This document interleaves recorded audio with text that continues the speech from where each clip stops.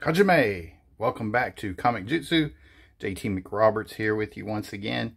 And today we're going to bring you a very special unboxing as we unveil issue number one of Heavy Metal Magazine. The crowd goes wild. What you see in front of you is actually, I believe, issue three, cover date June 1977. This is the earliest, well, up until now, this is the earliest issue of the Heavy Metal magazine publication that I own. Featuring a classic cover there by Moebius. I have been trying to get my hands on a copy of issue one of Heavy Metal magazine for many, many, many years. And I recently came across a lot online that was part of an auction sale and basically wound up getting issue 1, 2, and 4 for about what one would pay for issue 1. So I'm super thrilled. Here we have the box. And the prize hidden inside. It's almost like an Easter egg hunt, isn't it? There you can see those gems peeking through. There on the top, we see July 1977. I think this is issue 4.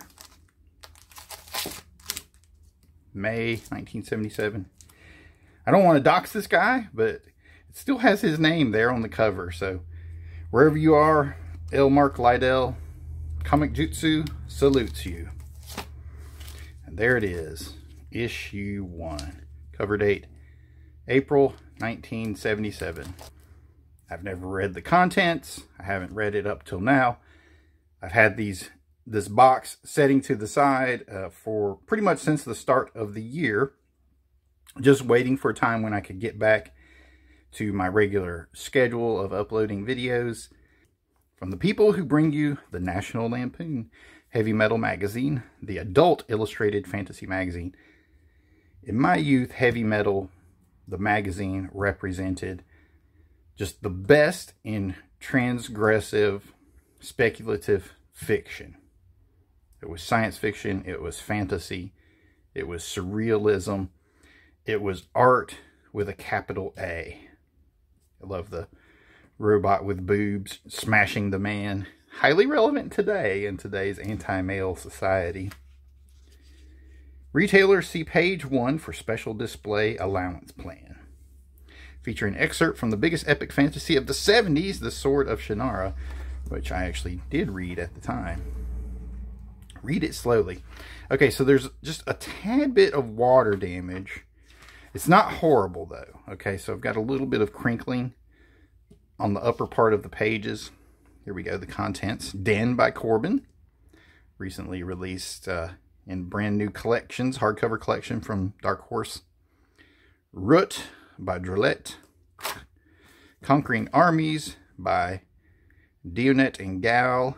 The Adventures of Eurus by Druillet and Lexus. Somebody actually, I think, re recommended that. Here we have the beginning of Arzak by Moebius. We have excerpt of The Sword of Shannara. So on and so forth. Front cover by Nicollet. Back cover by Druillet. Oh, there we go.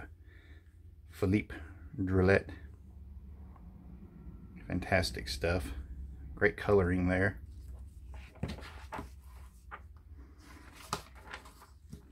Now this is not going to be uh, so much an issue by issue flip through. Let's save that for another video. It's just an unboxing just to share my enthusiasm Den. It would be interesting to, uh, well, interesting for me anyway, to compare uh, these this original printing, or rather reprint, because my understanding is that the majority of this content was produced in Metal Hurlant before it was repackaged for um, American audiences in Heavy Metal Magazine. Have to cover up the Richard Corben Swinging Cock of Doom so my my channel doesn't get flagged even further than it is. What amazing coloring here. I don't know. I've done a couple of these um, these uh, videos before where I compared the original prints to the reprints, and nobody's too terribly interested in them. Uh, here's Philippe Druillet.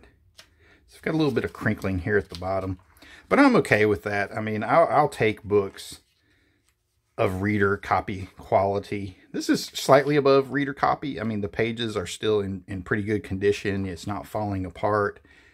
You know, it's got a couple bumps and dents here and there. This is all Philippe Druillet. This fascinating stuff. I mean, the contents of these these magazines are just magical to me. They just they just represent, as Grant Morrison might say, pure molten imagination on the page. Look at this stuff. For fans of you artist edition books out there, these black and white pages are absolutely gorgeous.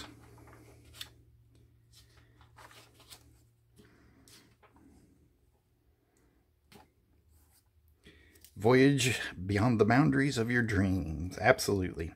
The best I could do as a kid was just like sneak a look at Heavy Metal Magazine. It was always hidden at the back of the magazine rack. You know, I would wait till no one was looking. There were no adults keeping watch. I would grab it, flip through it, have my little mind melted, and then head back out into the world. It was fantastic stuff. That's pretty much going to be my only commentary. This is gorgeous. This is beautiful. Look at this draftsmanship. This too is amazing. Ah, here's Arzak by Moebius. Just pure storytelling. It was Alfred Hitchcock who said that cinema is that I'm I'm butchering the quote that uh, the chase scene is the purest form of cinema. So here you go. We have the purest form of cartooning, sequential illustration, whatever you want to call it. Just a flow of action, no dialogue, no caption boxes, you know, regurgitating exposition onto the page. It's just pure experience, following, having your mood manipulated by the color scheme Amazing stuff. It really forces you to be really tight with your storytelling. Not much I can do to cover all these boobies on the page, but what can you do? Here's an excerpt from Sword of Shannara. I always love the Brothers Hildebrandt artwork for that. I mean, the cover artwork was absolutely fascinating. It's a shame that um, that nowadays with the, the reprints of those old books that they don't that they don't pay the artists to uh, use these fantastic works because because they're still out there. And unfortunately, it's only going to get worse because now AI art is here and they can just say, hey, give me a Sword of Shannara cover like the Brothers Hildebrandt and it'll just recreate the same picture. And somebody who pushed a button will tell you what a great job that they did. They never had to set up a camera, take a photo reference, get their dramatic lighting properly, never had to figure out the coloring, never had to compose it within the frame. Just a few words, all done. The ultimate artist tool, the ultimate editor tool, actually. Editors have always claimed to be the true creators of anything creative. They can tell you, yeah, go give me a story with bunch of guys that go to the moon, find alien insects inside it, but they can't actually tell you that story. They can't create that rhythm. They can't create that flow. They can't manipulate the reader's action, the, the reader's emotions through the story. This is all just great stuff. I've never flipped through this before, so apparently it is going to be a flip through of some sort there you go. If you've always wanted to see issue one of Heavy Metal Magazine, there it is. Back cover by Philippe Druillet. May, the issue of June that I already had. and then July with the uh, another Moebius Arzak cover. Hope you enjoyed this video. Feel free to subscribe to the channel. Tell your friends about it. Leave me some comments below. Perhaps you want to see a flip through of one of these other early issues of Heavy Metal Magazine. From one collector to you, JT McRoberts, thank you for watching. Mate.